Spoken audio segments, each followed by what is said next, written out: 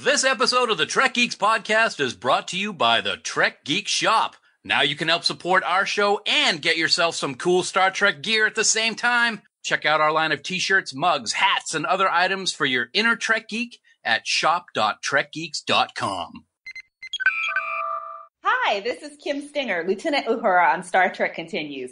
All hailing frequencies are now open for the biggest little show this side of the Alpha Quadrant. It's the Trek Geeks podcast with Dan Davidson and Bill Smith.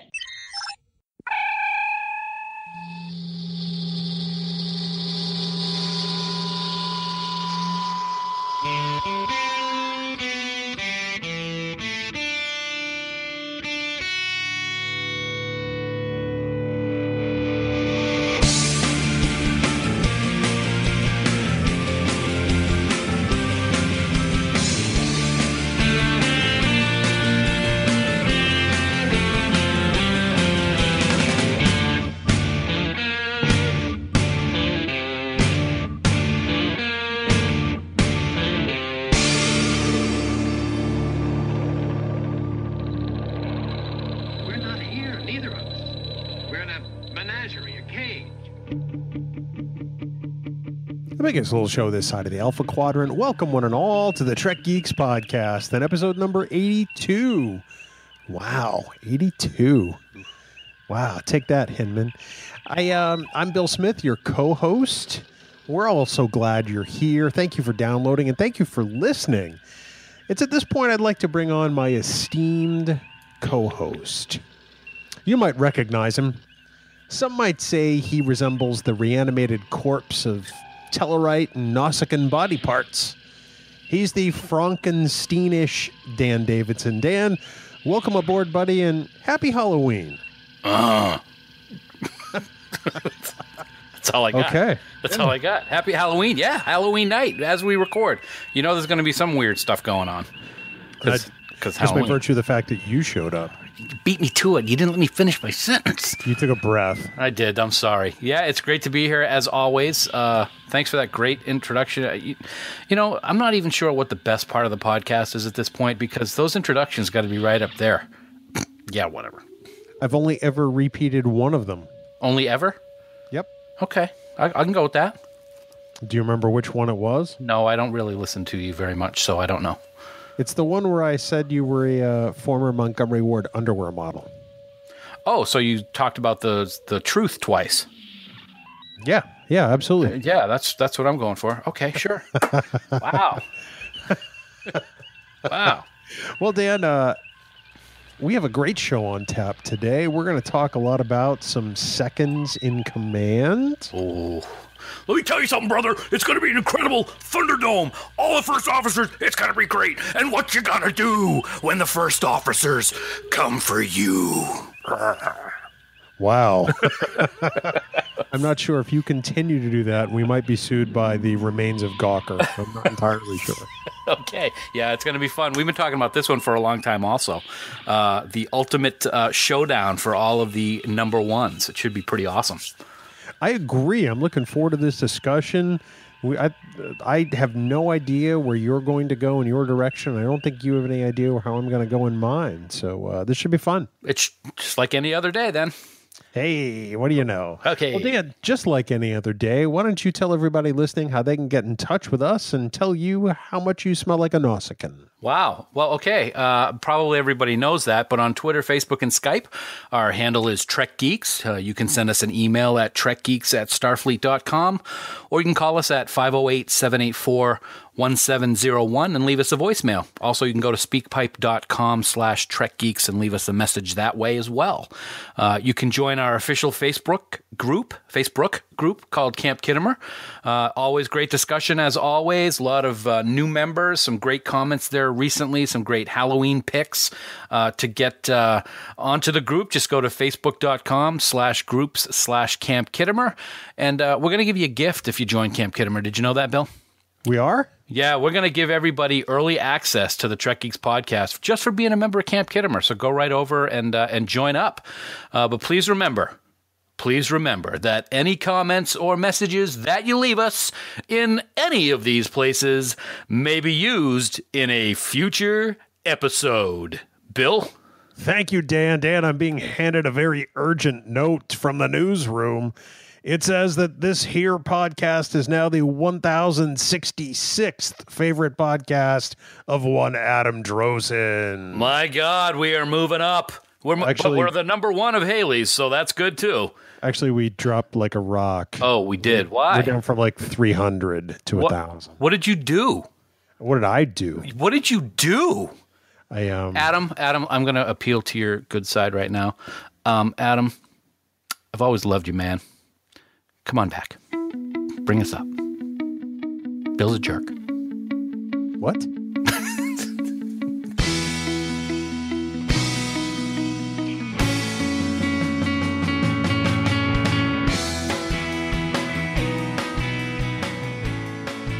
Dan, it's time for the news from TrekNews.net. Batting the Alpha Quadrant. What the hell was that? It was like an explosion of news. I don't I have any idea what I'm doing. I need a minute. We got news, man. We got an explosion of news from the Alpha Quadrant, like a Borg cube in Earth orbit. Well, I like that. How'd you like that? Was that good? Yes. Pursuit course, Mr. Hawk. Dan, first and foremost, probably the biggest story of the week. Of Looks like. Bryan Fuller has some time to kill. Yes, he does. Uh, this came as quite a shock, I think, to many people. Uh, Bryan Fuller has officially stepped down as the showrunner for the upcoming Star Trek Discovery on CBS All Access. Uh, that was a a big announcement uh, in the middle of last week.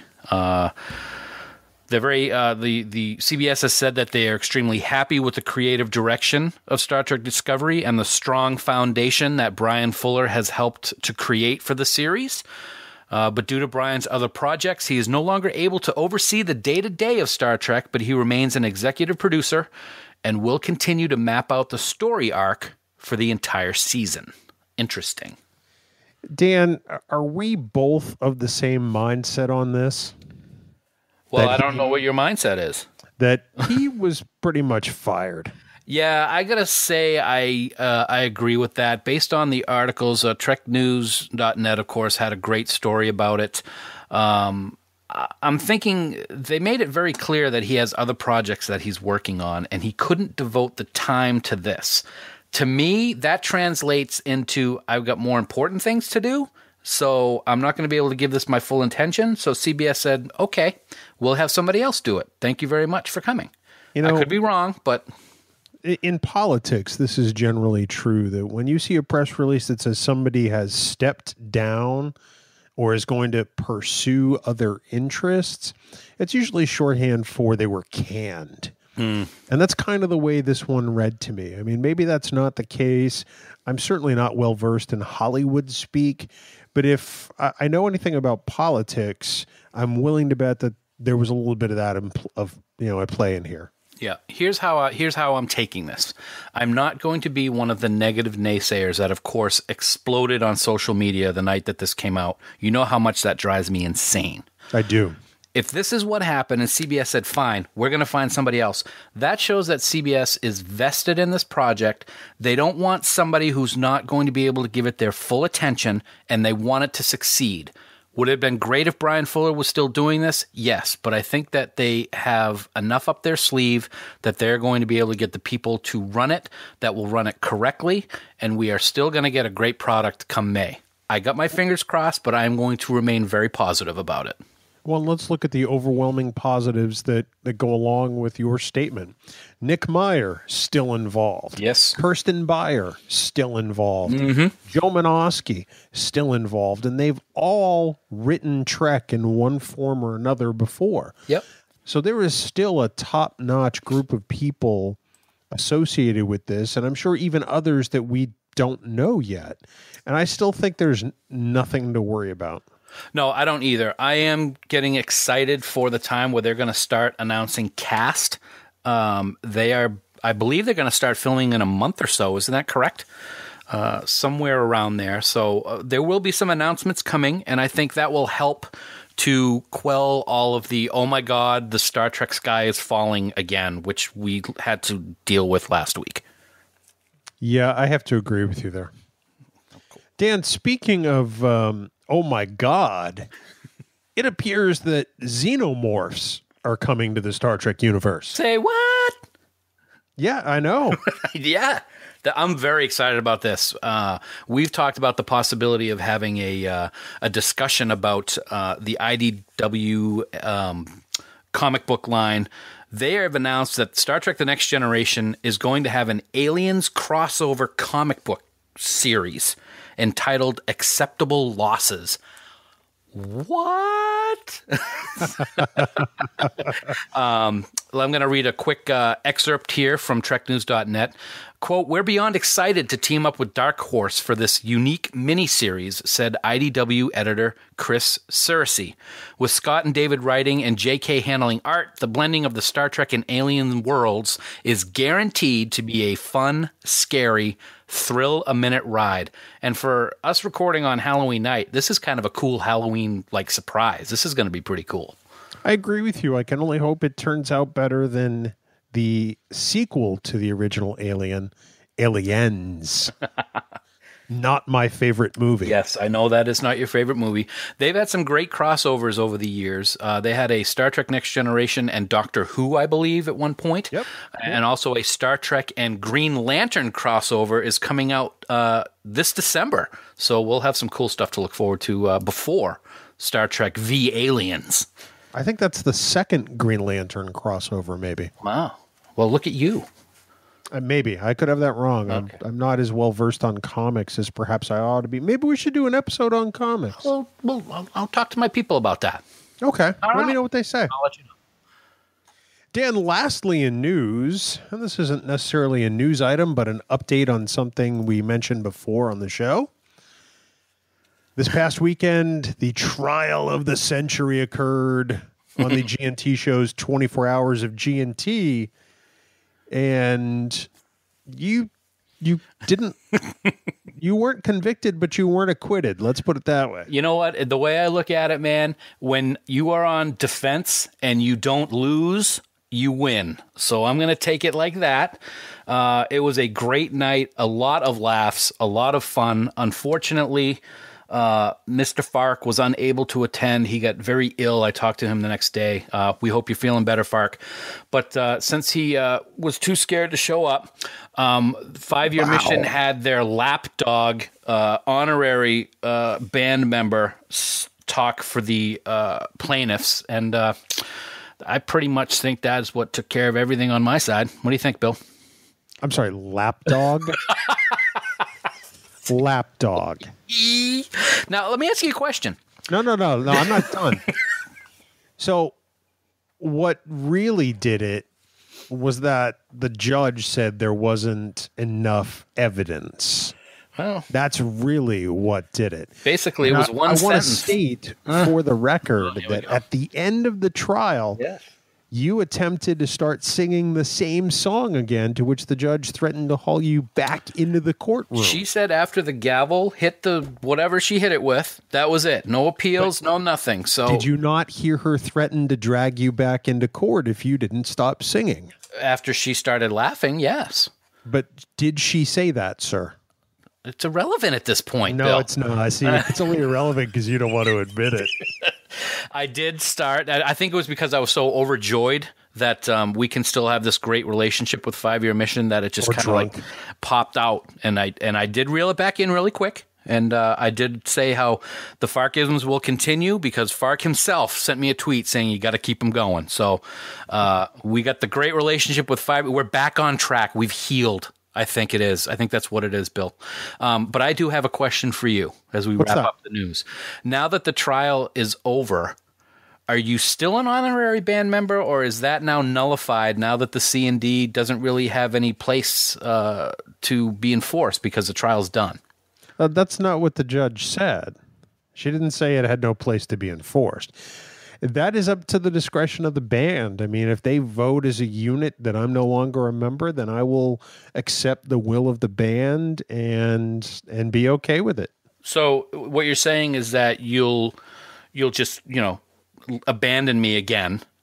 No, Is that what I you're saying? say. You, no, you what? I didn't say anything that involved you. I was talking about the band. You traitorous, disloyal. You stab me in the back the first chance you get. Get out. I never want to have to listen to you again. Are you done? It was fun though, wasn't it? We got to thank was. It was a G&T. It was G&T was awesome. Uh, we had a great time. It was for a great cause, uh, and uh, we were thrilled to be part of it.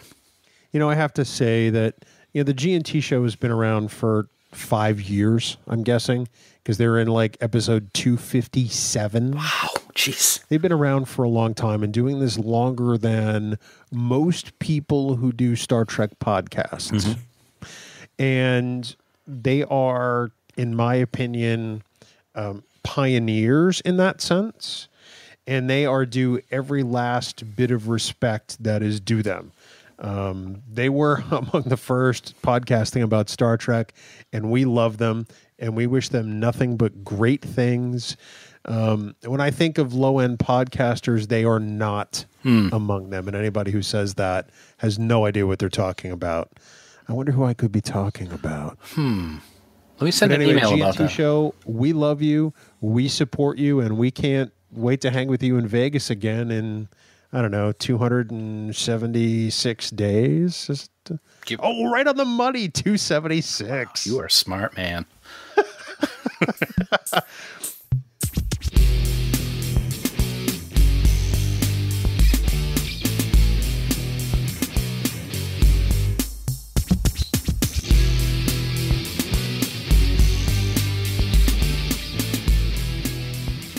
Dan, it's time to draw nigh and prepare to enter the field of battle. Oh, huh? Huh?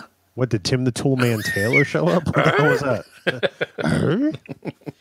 Dan, we're going to talk today about first officers, and we're going to talk about a whole bunch of aspects of them and maybe try to figure out which one of them might have been the best. The best of the best because they're all pretty damn good. That's true. I mean, you know, our crews that we've been treated to have been the best that there is to offer. So that is true. Okay. So um let's let's start here by reviewing the candidates we have for this job and maybe talking about the ones that we didn't add into the mix. Good idea. I like that. Start spitballing that. Spitball. sure. We'll start with the original series, of course. Everyone's uh, everyone knows that there would never be Star Trek without the first first officer, Mr. Spock. Without a doubt. without a doubt. Uh, he set the bar pretty high, I think, during the original series. Um, next, uh, Bill, we had Next Generation, I believe, is, is what we'd be talking about next. Allegedly, yes. Yes. There we have um, the one and only Commander William T. Riker. The T stands, of course, for Thomas. We're not going to be talking about Tom because he's sitting in a Cardassian prison. But um, yeah, whether bearded or baby faced, Riker clearly was the right hand of Jean Luc Picard for seven plus years and then eventually went off to captain the Titan. Yes. Yes, absolutely. Is that considered canon? What? The Titan. Yeah, it's uh, Nemesis. That's right, from Nemesis. Yes, I'm thinking the books because there's so many books that I've read. of Titan. That's correct. Okay. And then Dan, in Deep Space Nine, we had a bit of a different situation. Yeah, we had the kick-ass first officer in Deep Space Nine, Major or Colonel, depending on what season uh, Deep Space Nine. Uh, Kira Nerys, former terrorist freedom fighter uh, for the Bajorans, uh, became Sisko's right-hand woman, and uh, she was uh, one tough cookie. Without a doubt. Yes, absolutely. And uh, then moving on to uh, a different quadrant, actually. Uh, Kathryn Janeway's first officer of the USS Voyager. Yeah, the best written character on that show ever. Akuchimoya. We had uh Chakotay, you know, of course he was a a Maquis, you know, sort of a rebel, or I don't know if they I don't know if they really qualify as terrorists per se, because Kira was a terrorist, let's be honest. That's true. But you know, they rebelled against Starfleet to uh, take action against things they believed were wrong, and Chakotay led a, a Maquis cell, if you will. and eventually wound up being first officer to the only star sh- Starfleet ship in the Delta Quadrant. I like it. And then, Dan, we travel back in time a bit for our last first officer candidate. Yes, Enterprise. Uh, T'Pol, first Vulcan uh, to be on a Starfleet starship, as it turns out. Not Mr. Spock, as we all thought for so many years. Uh, came aboard rather uh, not one of the things that she would rather be doing. I think she had other things she would rather be doing than being on Enterprise with humans. That smelled funny. Um, but uh, there was a lot of growth in her character on the show, which I'm sure we'll get into during our discussion tonight. Well, um, nobody smells funnier than you, Dan. I think we established that in the intro. Yes, Nausicaan. Dan, there are a few first officers we're not considering this evening. Mm-hmm. And I'll go through the list. You know, it's pretty brief. Okay. Originally, number one, and I don't mean Riker, I mean the part played by Majel Barrett Roddenberry in The Cage. Yes. Uh, we figure that she's only around for one episode. Mm-hmm. Yep. Uh, not a lot to build off of for that. Um, so yeah, we decided not to uh, to have her on the list. And then technically, there could be a particular character considered first officer of the Defiant, but that's never really established, right? Yeah, uh, Worf was head of ops on Deep Space Nine, and then when they built the Defiant, he ended up living on the Defiant because he was more comfortable living on a starship. And I don't believe it was ever established that he was officially the first officer of the Defiant, although he acted as such uh, whenever Sisko was was on board and they were doing missions. But uh, we decided for continuity's sake, with him being ops, uh, head of ops for the space station, that we would not include him in the first officer discussion. Yeah, it was kind of implied, but I don't think ever stated outright. Yeah, we'll have to check and, in that. Yeah, it seemed weird that there would be two first officers, one for the station and one for the ship. Exactly. So, so those are the parameters with which we're working. Um, we're going to go through some aspects of the first officer job talk about maybe who exemplified some of these characteristics best, perhaps, and we'll have some discussion. And Dan, let's start off with probably the first one that comes to mind. You figure an incredibly important job of the first officer is to advise the captain, mm-hmm. you know, and especially in critical situations.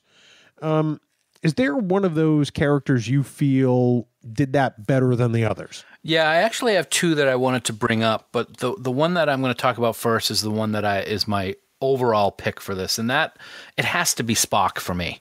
Uh, he was the one uh, that was always Kirk's standing by his side, Kirk talking, whispering in his ear about his thoughts and everything he's just the person that I think of as the advisor to the captain. With all of these other ones, there's always some kind of, you know, maybe argument or, or disagreement or something like that. But Spock always stood there and advised him as he saw fit, logically as a Vulcan, and also the aspect of science officer. He brought that in very well with these discussions. So uh, Spock is my primary choice for this uh, particular aspect of the job.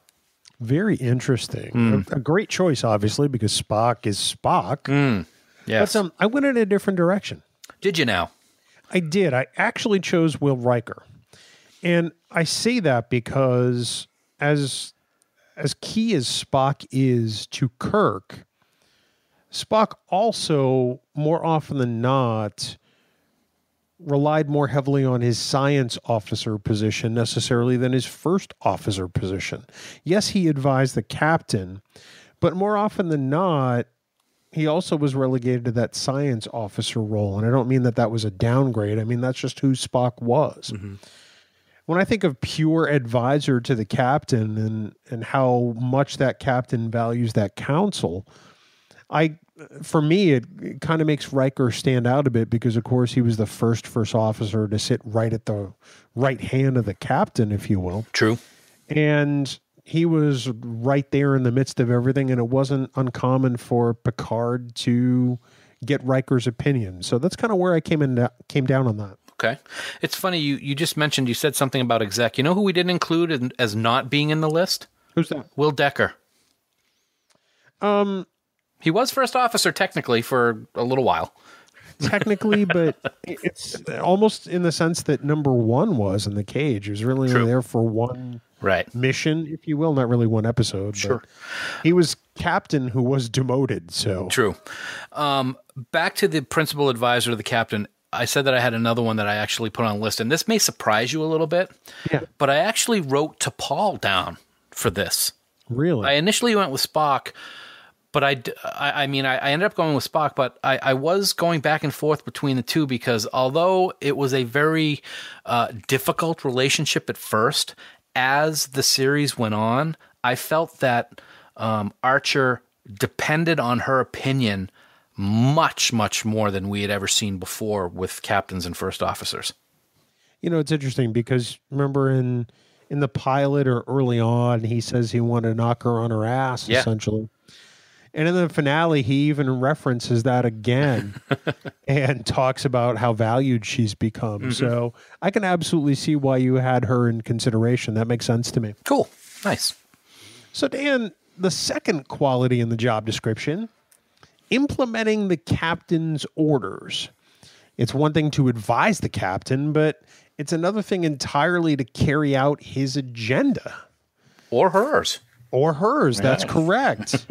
and who would you say in this case did the best job of implementing the captain's orders? I think by adding that little uh, caveat to the end of your sentence might give you a hint of who I chose.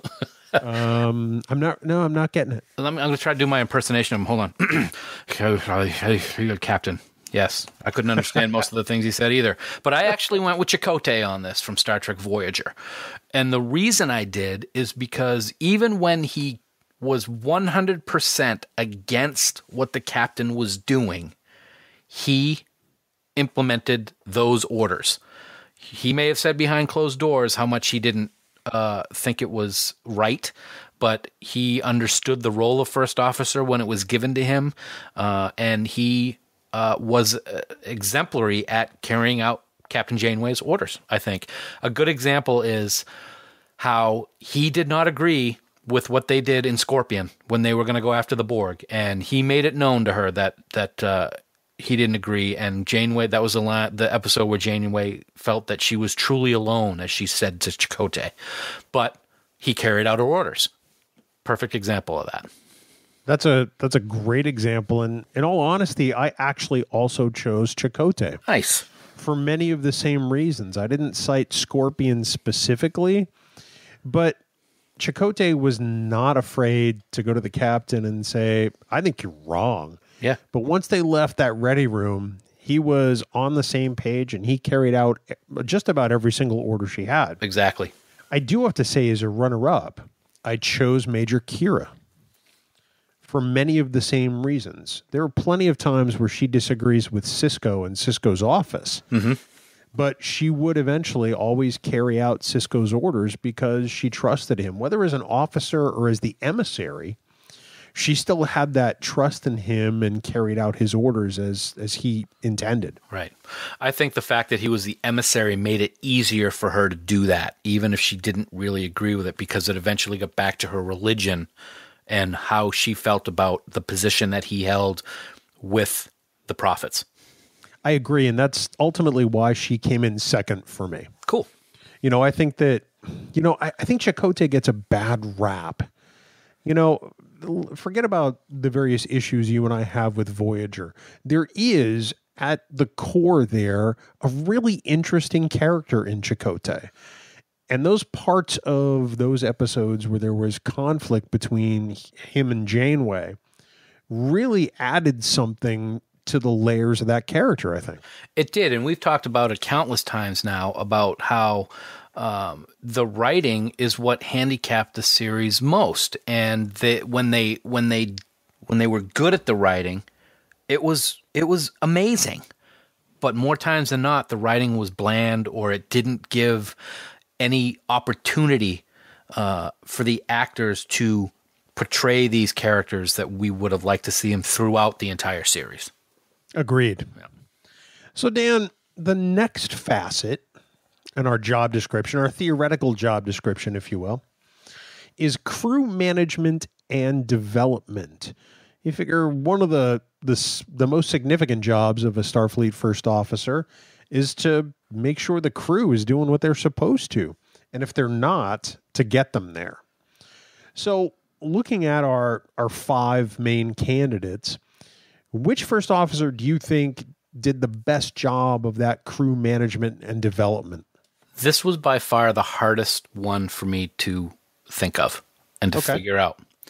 I'm still not 100% positive uh, of my answer because I couldn't really think of lots of examples where we would see that happening. Uh, so I eventually went with Riker from The Next Generation because I think that is the show that allowed us to see the crew interacting with each other more than any other series on a not a personal level, but a an off the bridge kind of level. Um, I think of Lower Decks possibly as the main reason why I picked Riker. Um, but uh, that this was a tough one for me, man. Yeah, this one was tough for me too. And for the longest time for me, Riker was leading the way. And then the other day I was thinking about this and I thought about many of those same qualities that you just mentioned. And ultimately I leaned toward Chakotay. And so he's my pick for this. Yeah. Well, think about this. On Voyager, there's a, a blended crew, for want of a better word. There's Starfleet people, which is a world Chakotay knows well, having been in Starfleet. And there's a, a Maquis segment of the crew.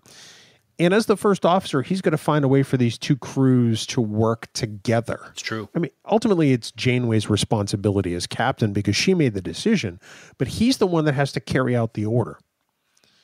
So, one of the things that I think Chakotay does really well, and you touched on it, you know, in, in talking about Riker just a, a minute ago, is that personal level. You know, because he can reach somebody on a personal level and work with them and get them to understand what he's looking for or what he wants or even diffuse a conflict. And I think ultimately that makes him a bit more versatile than Riker, but that's just that's my opinion. Interesting. Also, if I remember correctly, it was Janeway's decision to bring the two crews together, but she made it very clear that it was his responsibility to get them to work together. Yes. Yeah, that's good. I like that pick, man. That's a good pick. Yeah, you know, I was actually surprised I went that way. You know, because you and I joke about a lot about Chakotay, know, mm-hmm. the whole Kuchi Moya thing. Right. But you know, it's if they had written this character well, it had the opportunity to do great things. And this is just another one of those aspects that I think they intended to do a lot with, but missed out more often than not. Yeah, that's unfortunate. Yeah.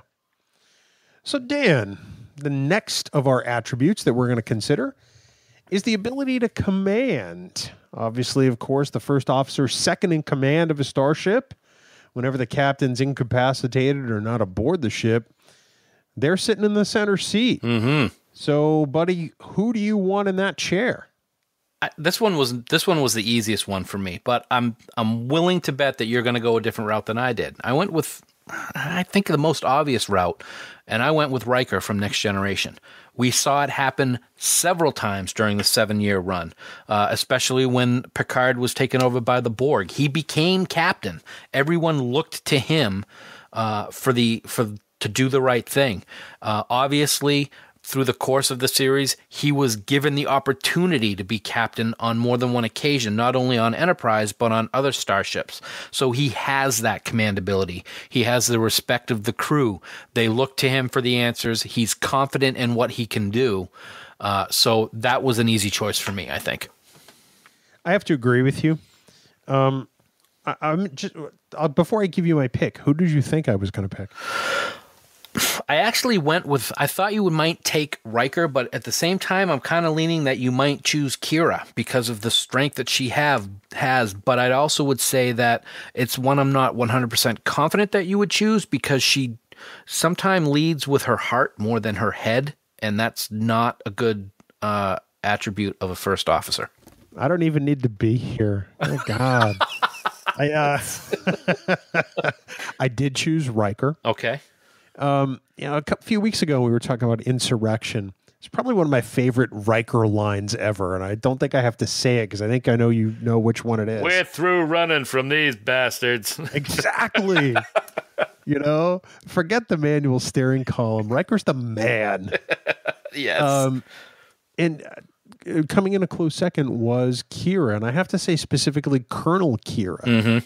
You know, because she needs some of that that maturity and that seasoning that she gets later on. I mean, by the time she goes to Cardassia in season seven, she is, you know, uh, grant she's wearing a Starfleet uniform, you know, simply just to get there, but she personifies a great Starfleet officer, even though she's a member of the Bajoran militia. She's a very well-rounded officer at that point. She absolutely can and ha- and has taken command. But I think you're right. I think there were times where, you know, sometimes her heart gets in the way, and that causes her to second guess. Whereas Riker, yeah, he doesn't have that problem. he just lunges around. Hey, You you so- brought up you brought up a very good point with Colonel Kira, and I think that is very evident uh, in those episodes where they're hiding, and she has to work with Cardassians who she obviously hates, and they hate her, but she's able to reel it in and get the job done, knowing that these Carda- Cardassians want nothing more than to kill her. Uh, yeah. she does a great job of of being an officer and being in command in those I think it's two or three episodes where they're dealing with that and then Garak ends up killing him so it's pretty cool anyway. Spoiler alert. God, man. Sorry. Just act like you've been there. well, Dan, let's take a look at the last of our criteria in the job description. Okay. Clearly, one of the most important jobs of the first officer, especially in later Trek, is to command the away missions. Yes. And that's a significant part of what the first officer does. You know, assessing danger, making sure the you know the right personnel are on the team. Who would you say was the best first officer when it came to away missions? I chose Kira for this. It was um, just right out front. I'm just going to say it. Boom, Kira. There we go. Um, the, and the main reason why I would want her uh, on these away missions is we said it before at the very beginning of the show. She kicks ass. She's she is not afraid to fight. She was a fighter. She was a terrorist fighter. She knows how to uh, to fight and be in battles. Uh, so that's the person that I would want, and I think that she's does a very good job of picking the people that you want on the away mission to help the mission succeed. How many times did we see in the original series, and I'm not putting down Spock when I say this, how many times did we see Ensign Redshirt or, or Lieutenant whomever showing up on the away mission and they ended up just up dying anyway? Uh, that went away with with the later um, series and with Deep Space Nine. I think Kira was uh, very good at at uh, running those away missions. I have to agree. I mean, she was she was pretty lights out, I have to say. My pick, however, was not Kira. Okay. I- in taking a look at the various first officers, I had to take a look at the person who I thought was the equivalent of the captain on the ground. Because to me, that's what the leader of the away team is. Mm-hmm. You know, he's responsible for every aspect of that part of the mission. I mean, ultimately, of course, the captain is responsible, but you know, the first officer is it when they're on the ground. Okay. And for me, that person has to be Riker. He's a very good first officer, isn't he? He really is. I mean, you know, I think that early on in TNG, you know, I, I think we we probably poke a little more fun at him than perhaps we ought to have because he's got that bravado that's sort of larger than life. Well, you mentioned the Riker walk a few times, and you know, he's got that that attitude. But when it comes to being a well-rounded Starfleet officer, I really think that Riker has a lot of those qualities, uh, which kind of surprises me. Yeah, it does, and and we'll get into some um, more specifics later on as we're as we're talking about some other aspects. But it is surprising that both of us picked him for several of these aspects, or at least had him in strong consideration for it. Yeah, because I thought I was going to go Spock, Spock, Spock, Spock, Spock. That's exactly right. Yep. You know, Yeah, absolutely. We think alike. Alike. that really scares the hell out of Very, me. very very scary. Should concern everyone in the audience. I um seriously, people, if you hear me talking code, it's because I need help. Oh wow. Thanks, friend. Welcome, buddy. So, I mean, I don't want to, you know, say we've we've already made our decision, but you know, which had the most major accomplishments as a first officer? Yeah, this one missions. You think about, you know, whatever. I, I this is another one. I had to I had to choose William T. Uh, or uh, Will T. Thomas. I'm choosing Thomas. That's what I'm going with. Actually, he wasn't first officer, so he wouldn't even be considered for this because he wasn't first officer when he got split. I think we covered that earlier. Yes, I know we did. Yeah, I'm going with Riker on this one. Obviously, um, I said it earlier. He had several promotions handed to him, which he turned down. So Starfleet knew that he was ready to be a captain. He had those major accomplishments handed to him. He was just smart enough to understand that being on the flagship was bigger and a bigger feather in his cap than being captain of a who knows what starship.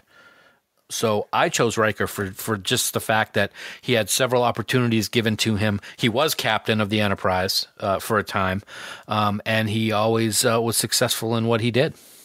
I almost went Spock on this one. Really? Well, think of some of the accomplishments of the original series crew. I mean, uh, you know, Riker, sure, he saved the planet before, but the original series crew has saved the planet many times over. Let's be honest. Yes. There's the whole whales thing. Whales. There's the whole, um, you know, the Klingon Klingons. peace deal. You know, in the undiscovered country. Peace. Numerous. Sorry. Just repeating random words. so you know, I, I almost went Spock, and I, Riker probably nudges him out just the slightest Yeah. bit Yeah. because there's that whole Borg thing.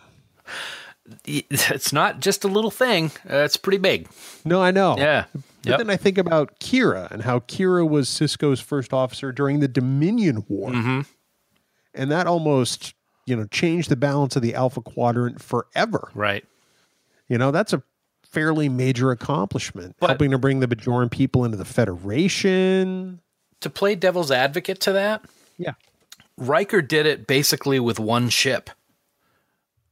And Kira and Sisko did it with a fleet or fleets plural. Um, I'm not downplaying at all. We we both just think the Dominion War arc was was some of the best writing ever. Um, I just would have to give Riker the the the um, extra extra points because he had little to work with and was able to do it. Okay, that's fair. I'll buy that. So let's change up our last couple of points because it sounds like we're both pretty settled on Riker. so let's take Riker out of the mix for a minute. Okay. At the end of their respective television series, not counting movies, which first officer do you think could have been promoted to captain? I actually uh, did not have Riker in this list.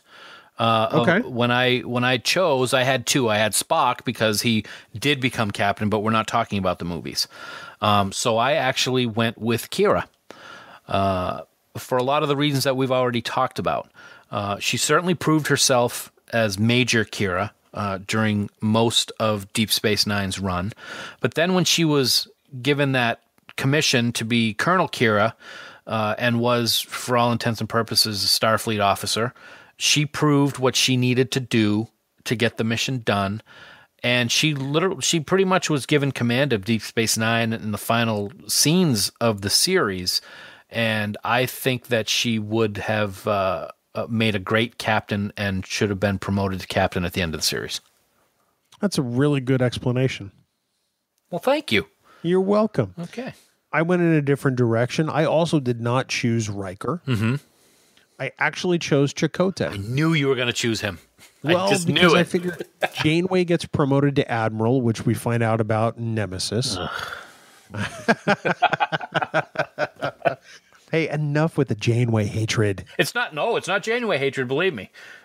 No, I know it's the, it's the writing, but you figure that Chakotay very easily could have picked up right there and been the captain of that starship from there on in, mm-hmm. and and been an effective one and been a good one.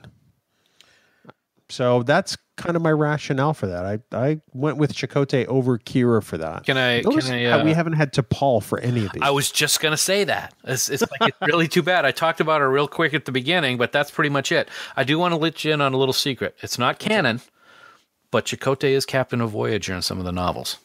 I had heard that. Yeah, yeah. So and I think cool. that makes sense. Yep. He knows the ship. That's for sure. Well, do they bring Janeway back to those novels too? Uh, I don't really want to say what happens in the novels with Janeway, Okay. in case anybody wants to read them. All right. Well, you already spoiled the fact that Chakotay winds up as captain. Thanks a lot. nothing. jerk. That's no big deal. You just you just said he should be captain. Good lord, man. All right, Dan. Well, let's stack rank them. So if you had to take all five first officers and rate them from you know number one to number 5 Mm-hmm. What would your stack ranking look like? Well, before I give my list, I gotta I gotta give an explanation for one. I, I like you thought a lot of the answers tonight with what we talked about was going to be Spock, Spock, Spock, Spock, Spock, Spock, Spock. Yeah. But you said it earlier, and it's a very important part of this decision. He had to split his jobs more than anybody else did. So it's it's tough to put Spock as the top first officer for that reason. It was very hard for me to do, but I did actually choose Riker first, followed by Spock, followed by Kira, Chakotay, and finally T'Pol. Wow. Was that bad? No, that's quite an admission for you, though. About what, Spock? Yeah. Yeah, it was. It's because Spock is Spock. I mean, we've said it before. There's no Star Trek without Spock and Leonard Nimoy and what he did, and and he was such a uh, an integral part of the crew, and he did so much and everything through all the series, and then into the movies, and then into the new movies. He was such an important character, but as first officer, I have to look at it that way we talked about all the different things that Riker accomplished and all the things that he did and how his style was and how he had the trust of the crew. I bet you there were some people on the original Enterprise who were didn't have the trust of Spock simply because he was a Vulcan and he was that cold, non-emotional person. So people couldn't warm up to him the way that they could to Riker. So that that trust is a very important part of it. Also, got to go with him first, man. I have to agree with you. I mean, he's at the top of my stack ranking, Riker, without mm-hmm. a doubt. Okay. And then, you know, the remaining four of the five slots looks a little different than yours. Okay. Um, and I'm kind of surprised at the way this played out myself. So I went Riker, Chakotay, Spock, Kira, and then T'Pol. Poor T'Pol. I love Jolene. I'm really sad. well, I mean, I'm separating out the the actors from the characters in Yeah. the Sons. I mean, I love Jolene too. Yeah. I love Nana. She's so wonderful. Yep. You know, I I I adore Leonard Nimoy. I know you did too. Mm-hmm. You know, he means a lot to both of us, Right. but I have to look at that separately from the actual character and their role as first officer. Yeah.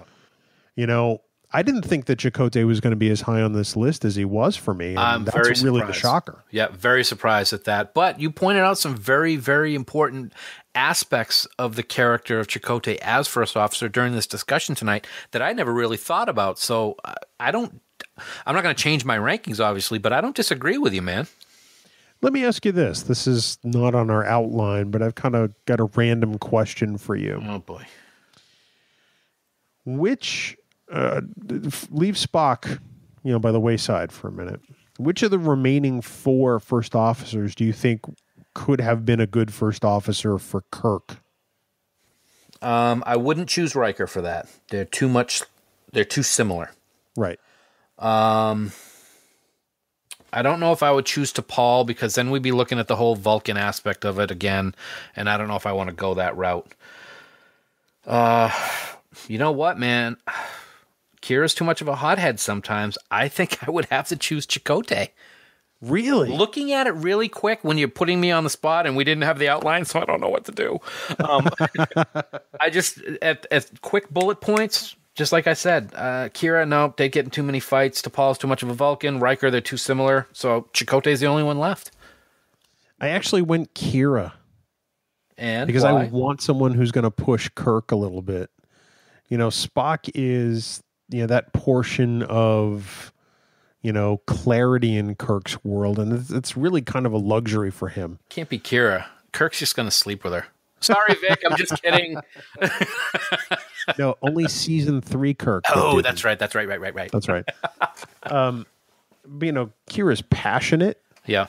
Kira is amazingly strong. Kira's a Kira's a damn good officer. And I think that those are qualities Kirk would appreciate beyond anything else. I also think they'd butt heads from time to time. I think they will butt heads a lot. And don't you think that that brashness that she can have? I mean, the first episode, emissary. I mean, the way that she is with with uh, with Ben, I, I just don't see Kirk putting up with that at all. Uh, certainly changes over the course of the series with them, but um, I just think that you know if you get off on that wrong foot right away with Kirk, it's going to be very difficult to get back on the right foot, and it might be a little uh, a little touchy. Well, possibly, but remember, Kira ultimately winds up carrying out the captain's orders. Well, yes. I mean, they may have that relationship, you know, in council, but I think that ultimately, I, I, I think that she could work for Kirk very well, or at least make him stretch and grow as a captain. Do you think that her being with Kirk and Kirk not being the emissary could be a problem for them working together? Because we talked about how it was probably easier for her to carry out the captain's orders, knowing that not only was he captain or commander of the station, but he was also the emissary to the prophets. There's that extra part of it for her. If Kirk's not that emissary, do you think it might be more difficult? Maybe, but maybe that's a journey they both have to go on. Hmm. That's very interesting. Yeah, see, it's the whole timelines aspect. Of. Oh, gee, I was just gonna say we got to have some kind of like like video game, but we already do. So we have Riker wins. Wow. That really is something. You're gonna have to take a special video of you doing your Riker gaunt uh, uh, down the like the road or something to show the, the that he won or something. I don't know. and then turn the corner. We'll save it for Vegas. Yes. Dan, speaking of Vegas, Uh oh. your personal friends, the band Five Year Mission. Oh. You love them so much. I You're- love them more now. You love them more now. By the way, can I stop you for just a second? Uh, I have a special announcement. I Oh. just had sent to me as we were discussing an official statement from the judge herself in regards to the trial the other night. oh my goodness. Yes, Judge Janet has offered this statement. Solomonic justice was served in this defamation infringement domestic dispute adjunct eh, boy I can't even say this word adjudicated Adjudicated. Thank you. Adjudicated in the Supreme Court of Star Trek, New England Circuit. I think it says it all right there. I Because know, I have I- no idea what it means. but that's what we got. I, I don't know if you should be as excited about that as you are. I am because I didn't get, I didn't lose. I think we all lost a little bit, don't you? Well, I will say this I will not sing Five Year Mission anymore. I will let the professionals deal with that because they are awesome and we do love them. And speaking of the professionals, we want you to head on out to fiveyearmission.net. Please download all their music. We truly can't thank them enough for having fun with Dan's little version of their Take a Ride song and for also letting us use their music in every episode of the podcast. They're they're phenomenal. We want you to love them as much as we love them. So please check them out and support them. We'd really appreciate it if you did. It would be awesome. Um, but I do have to say, even though I was on trial, Bill, Yeah. it, I, I I have to watch an episode every weekend. I love watching these weird alternate universe episodes that I found. Oh, this, no. You remember the Xindi arc on Enterprise?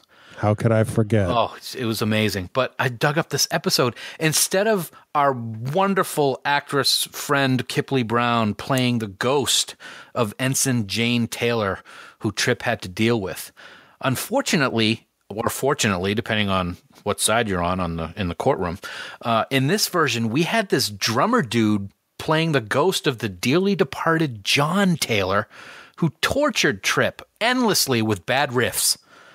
What can you expect, though, from the episode from Enterprise, The Fark Gotten. It's a classic, and I highly recommend it. Oh, dude. They, uh, that was that was terrible. What? Yeah. Oh, that's that was. Oh, I. Okay, I, need get it. Adult. I need an adult. Wow. And they're only going to get better from here, folks. Oh, here's hoping. wow. Okay. Dan, as you'll recall, our iTunes subscribe and review campaign is ongoing. We're in a new quarter. yes. That means anybody who submits a review from now till the end of 2016 can qualify to win a prize. Anybody? Anybody who's not named Dan Davidson or Bill Smith. Oh, all right. Okay. Well, that's good for them. Well, Dan, what is that prize? I don't know. I think it's like $25 at Amazon or something like that. You sound a little more excited about it's this. please? twenty-five dollars from Amazon or whatever monetary twenty-five dollars is if you're not in the United States. That's, I suppose not to put too fine a point on it. That's close enough. I don't have the I don't have the copy in front of me, man. You don't need it. We've been doing it plenty of times. I still don't know the phone number without looking at it. I, I'm aware. I think everybody in the in the audience knows the phone number except for you. That's one seven zero one. That's the only part you know. I wonder why. So, for more details about the iTunes subscribe and review effort, please hunt out the Trek Geeks. Trek? Try, try, Trek Geeks. Yes. trekgeeks.com slash itunes that'll give you all the details really it takes no time at all and you could win 25 bucks how great is that That's pretty awesome. Twenty five bucks is pretty good. And you can get a lot of stuff at Amazon for twenty five bucks. you really can Yeah. dan please regale us with the topic of our next episode Well, Bill, I like you. no you don't and I wish to go on liking you. I will talk to you about what you talked with me, discussing for all eternity about the number one villain in Trek history, Khan Noonien Singh. Khan Noonien Singh. dan That sounded so much better when I was writing it. Yeah it really did But yes, we are going to talk about the number one villain in Trek history on most everybody's list. We're going all con. We are. It'll be part history lesson, part discussion, and maybe part argument. We'll see. Okay. Yeah, that's con next week on Trek Geeks. Dan, for more great Star Trek discussion, we of course want everyone to check out the Tricorder Transmissions and our friends over there. They are online at the tricordertransmissions.com. And of course, Dan, for all the latest news on everything Star Trek, we want everyone to visit treknews.net. However, for now, this has been episode 82 of the Trek Geeks podcast. We do hope you all live long and prosper. Ready? Sure. Kokar What? Kokar con nut? No? That was bad. You mean like con, like Yeah. condolencing, or carn, Karn. like fan film that's never going to get made? That's right. Wow. I gotta go find some emails. I'll see you later. All right.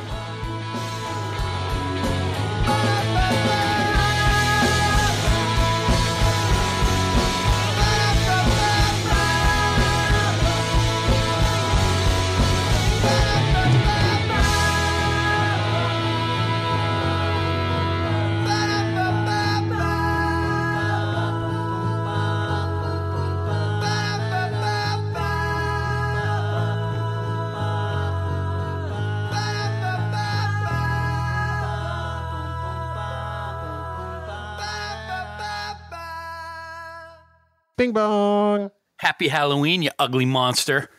Well, thanks, you witch. Wow. Okay. With a W. Yes. Well, I. Yeah, I'm sure it would not be bleeped out otherwise. I don't think that's a word we necessarily have to bleep. You bleeped it out uh, in the outtake uh, during the Ultimate Crew episode when I said it. I think it was the context. You're face is the context. You should bleep that out all the time. Wow. Yeah, I said it. Why are you so angry? I'm not angry. It's it's it's a happy day. It's Halloween. You know what we watched right before I came up to record? No. What? it's the Great Pumpkin, Charlie Brown. Did So you get any trick or treaters? No, we actually because we have the dogs.